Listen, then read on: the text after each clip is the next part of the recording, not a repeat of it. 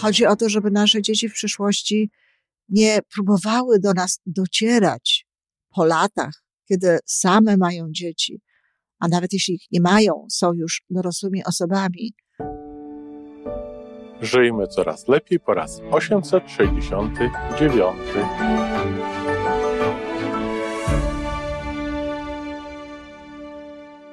Witamy w miejscu, gdzie wiedza i doświadczenie łączą się z pozytywną energią. Nazywam się Iwona Majwska-Piołka.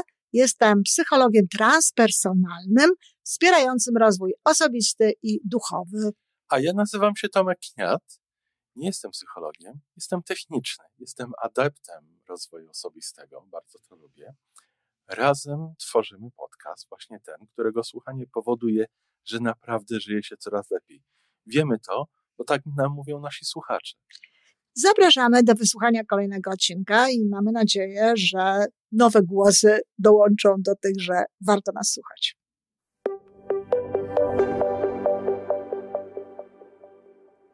Dzień dobry, z tej strony Iwona Majewska-Opiełka.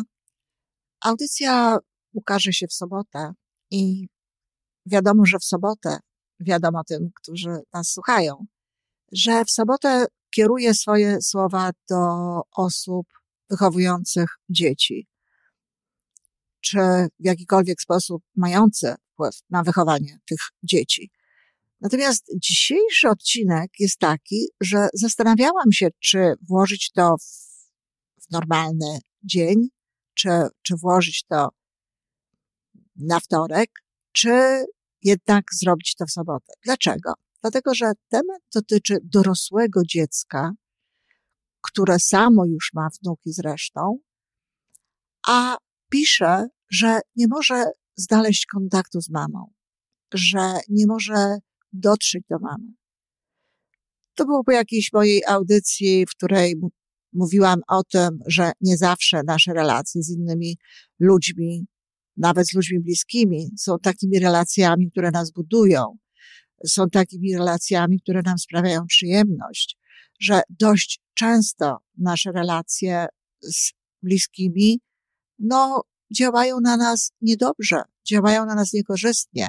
W momencie, kiedy spotykamy się z tymi ludźmi, właściwie mamy do czynienia z energią negatywną i, i, i w, musimy się bronić jakby przed tym, czy chronić przed tym. Podpowiadałam, jak się chronić. Ale dlaczego dzisiaj chcę to zrobić jednak w audycji dla rodziców? Kochani, chodzi o to, żeby nasze dzieci w przyszłości nie miały tego rodzaju wyzwań. Chodzi o to, żeby nasze dzieci w przyszłości nie próbowały do nas docierać po latach, kiedy same mają dzieci, a nawet jeśli ich nie mają, są już dorosłymi osobami, żeby nie czuły, że nie mają więzi, że nie mają kontaktu. Więź może być, bo więź bardzo często tworzy się e, pomiędzy, żeby była jasność, nie dotyczy to rodziców, choć i takie sytuacje zdarzają się. Więź dotyczy bardzo często dzieci, które, i rodziców, dzieci, które były traktowane bardzo źle. Dzieci, które były wręcz, no, bite, poniewierane i tak dalej. Te dzieci bardzo często odczuwają więź. Ona się buduje niestety niezależnie od tych emocji, jakich doświadczamy w relacjach z rodzicami. A zatem, co robić, w jaki sposób podchodzić do tego i dlaczego to jest istotne, aby zaczynać to od momentu, w którym no, te dzieci są małe i żeby w tym momencie myśleć o tym, o czym ja będę rozmawiać w przyszłości z moim dzieckiem. Co ja mogę robić teraz, żeby mieć więź z moim dzieckiem? Co ja mogę robić? W jaki sposób mogę postępować, żeby potem, jako dorosła osoba, moje dziecko miało ochotę ze mną być? Teraz ktoś powie, moje dziecko ma trzy lata, albo moje dziecko ma 10 lat, czy 12 lat. O, o, 10-12 lat to już jest bardzo, bardzo czas na to, aby zadbać o to, o czym za chwileczkę chcę mówić, jeśli się jeszcze nie zadbało. Na temat dla takiej, dla osoby, która chciałaby dotrzeć do tej mamy, w tym, żeby pomóc, żeby dotrzeć do tej, do tej mamy, za bardzo nie mogę, dlatego że to, to przede wszystkim zależy od tej mamy, dorosłego dziecka. Mogę podpowiedzieć tutaj tylko jedną rzecz, którą zresztą powtarzam w różnych miejscach. Każdy ma do przeżycia swoje życie. Mama wybrała taką drogę. Wszystko, co można w tym momencie robić, to kochać ją, wysyłać jej miłość, w sensie miłości takiej w ogóle, jaką wysyłamy. Bo czasem te relacje są nawet takie, że no niekoniecznie mamy być za co wdzięczni rodzicom. Ale w momencie, kiedy jesteśmy już dorosłymi dziećmi i widzimy, że nasze starania nie doprowadzają do tego, żeby ten kontakt był dobry, to tak jak mówię, kochać, kochać tak jak, się, jak ja czasami mówię o tym, kocham ludzi, którzy robią nie najlepsze rzeczy w życiu. Wysyłać miłość w momencie, kiedy się jest razem z tymi rodzicami. Można nawet mówić tę krótką wypowiedź ho'oponopono, tak? Kocham cię, przepraszam, wybacz mi proszę, dziękuję, w myślach. A jeśli rzeczywiście jest bardzo niedobrze, odsyłam do mojego podcastu na temat bańki, to właśnie schować się do bańki i chronić siebie przed tymi emocjami, przed tymi wibracjami, wibracjami. To jest wszystko, co możemy zrobić. Wiem, że jest przykro, ale jeżeli będziemy kochać, jeżeli będziemy wysyłać miłość, jeżeli będziemy zalewać siebie w tym momencie miłością i przesyłać ją do tych naszych rodziców, to nie będzie nam tak trudno, nie będzie nam tak ciężko, będzie nam z tym jakby przyjemniej, bo te nasze emocje będą dobre. A że nie mamy kontaktu, no trudno. Może mamy kontakt z jakąś inną, starszą osobą, czy z kimkolwiek innym. Choć nie jest to łatwe zaakceptować, to trzeba. I nie zmienimy rodziców, tłumaczenie różnych rzeczy, pokazywanie różnych rzeczy y, rzadko kiedy daje efekt, bo często zaczynają się oni przed tym bronić. No ale właśnie, wracam już teraz do rodziców. Kochani rodzice, czy chcielibyście, żeby w przyszłości wasze dzieci zadawały takie pytania swojemu psychoterapeucie, konsultantowi, czy komuś, kto w ogóle się tym zajmuje, jak ja mam dotrzeć do mojej mamy? Nie mogę dotrzeć do mojej mamy. Nie, nie, nie czuję z nią takiego bliskiego kontaktu, nie czuję, żebyśmy się rozumiały. Na pewno nie. W związku z tym, co można zrobić? Po pierwsze, trzeba uświadomić sobie, że za relacje z dziećmi odpowiedzialni są rodzice. Odpowiedzialni są rodzice przez całe ich życie. Nic nie zwalnia z odpowiedzialności za relacje z dzieckiem matki, która ma już dorosłe dziecko. Jeżeli tego nie robi, jeżeli tego nie rozumie, jeżeli jest na takim poziomie świadomości, na jakim jest, no to trudno. Ale na pewno nie jest to tak, że jest to odpowiedzialność tego dziecka, dorosłego dziecka, ale dziecka. To, że się stara, to, że próbuje, świetnie. Ale jakby w takim karmicznym wymiarze, w takim wymiarze życia po prostu spełnionego, życia, e, które trzeba przeżyć, no, tak, żeby ono coś dało, to, to, to nie jest takie ważne. Rodzice są odpowiedzialni za te relacje. A skoro rodzice są odpowiedzialni, no to od samego początku warto mieć tego świadomość. I od samego początku budować relacje ze swoimi dziećmi tak, żeby kiedyś w przyszłości, kiedy będą one dorosłe, po pierwsze, było o czym rozmawiać. No nie może. Po pierwsze, żebyśmy żyli i żebyśmy byli zdrowi. To jest pierwsze. Po drugie, żebyśmy mieli o czym rozmawiać. Po trzecie, żebyśmy budowali nasze dzieci i wspierali nasze dzieci. Jeśli tak będzie, to z całą pewnością dzieci do nas dotrą. Dzieci będą z nami, dzieci będą chciały z nami być, dzieci będą chciały z nami rozmawiać moje dzieci, jeśli nie widzimy się dłużej niż tydzień, no odzywają się z tekstem, kiedy się możemy umówić, bo, bo stęskniłam się za tobą. O to chodzi. Chodzi o to, żeby dzieci się za nami stęskniły, no nie, żeby do nas stęskniły i tak dalej, ale żeby chciały do nas przyjść, bo czeka je w tym momencie coś dobrego, bo wiedzą, że będzie miło, bo wiedzą, że będzie sympatycznie, że będzie o czym porozmawiać, będą szczere przytulenia, szczere rozmowy i tak dalej. Więc zaczynamy to robić w dzieciństwie. Po pierwsze, regularny i częsty kontakt emocjonalny z dziećmi. Nie może być tak, że dziecko widuje się tylko wtedy, kiedy, nie wiem, usypia.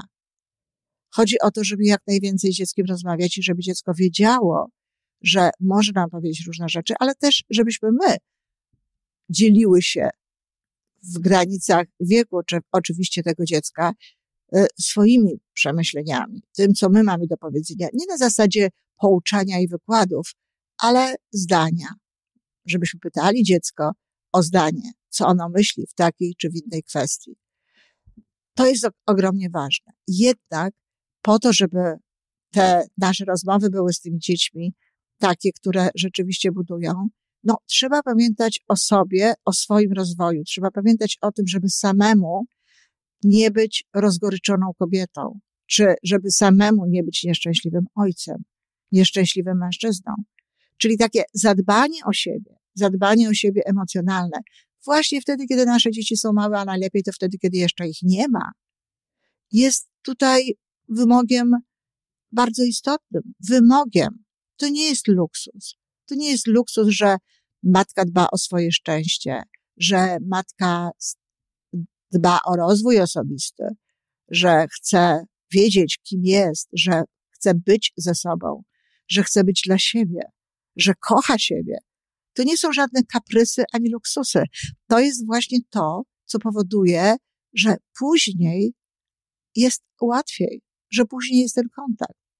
Matka, która jest zadbana, matka, która jest szczęśliwa, jest w przyszłości zdecydowanie ciekawszą osobą, ciekawszym człowiekiem do tego, żeby dzieci z nią były, ale też ma lepszą jakby energię, nie wysyła impulsów z, do, z tych niższych rewirów emocjonalnych w rodzaju rozgoryczenia, niespełnionego życia, e, jakichś pretensji, bo wiecie, im mniej się robi dla siebie, tym więcej się wymaga od swoich dzieci, tym więcej się chce, żeby te dzieci robiły, żeby one jakby spełniały nasze marzenia, żeby one zrobiły to i żeby im się udało, to, co nie udało się nam i tak dalej, i tak dalej. Często jest tak, że chcemy, żeby dzieci były naszą wizytówką, żebyśmy się mogły pochwalić tymi dziećmi.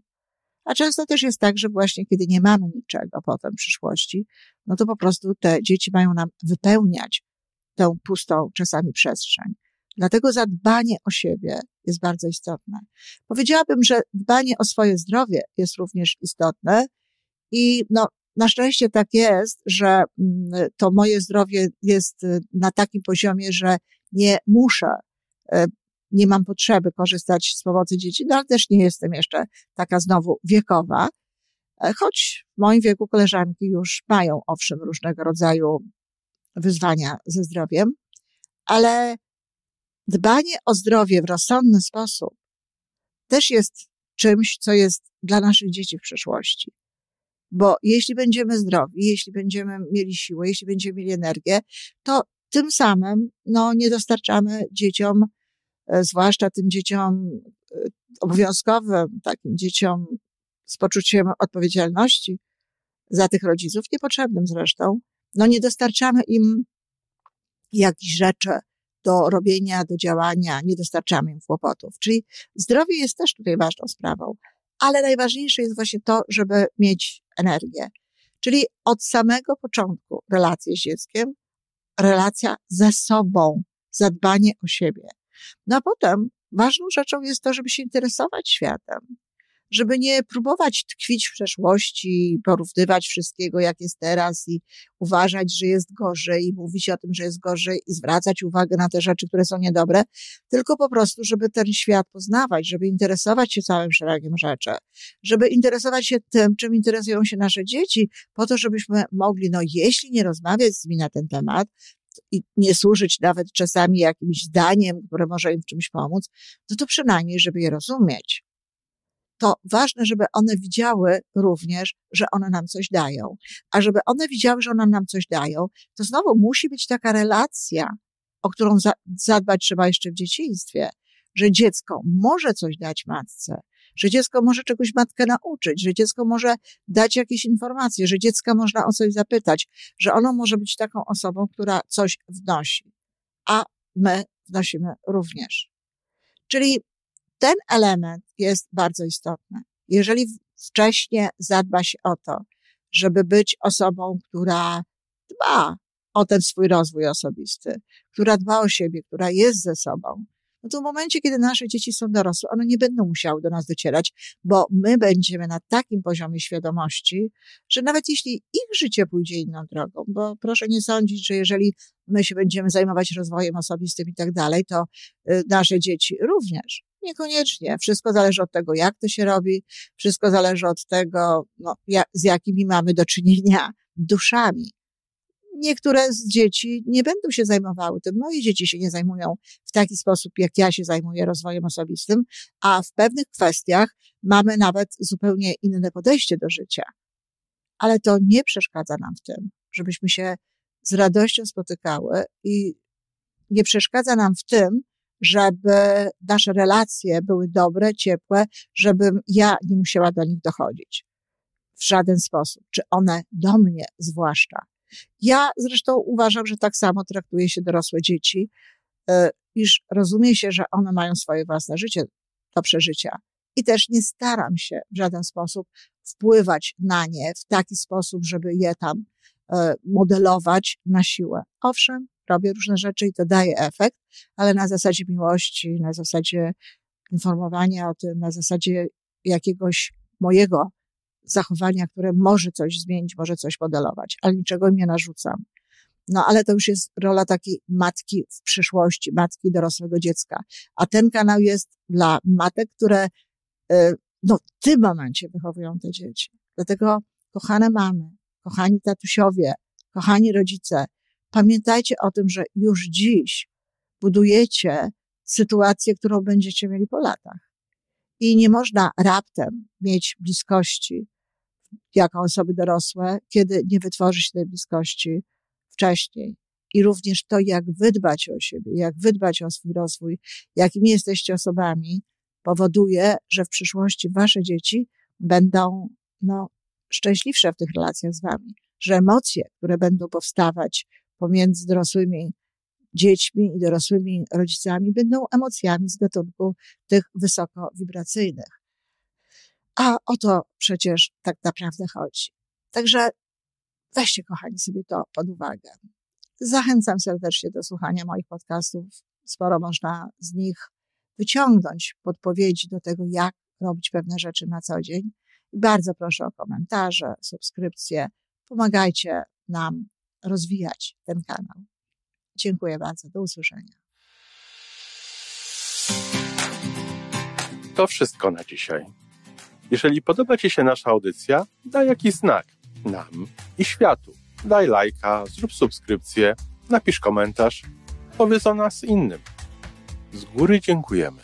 Razem możemy więcej. Do usłyszenia.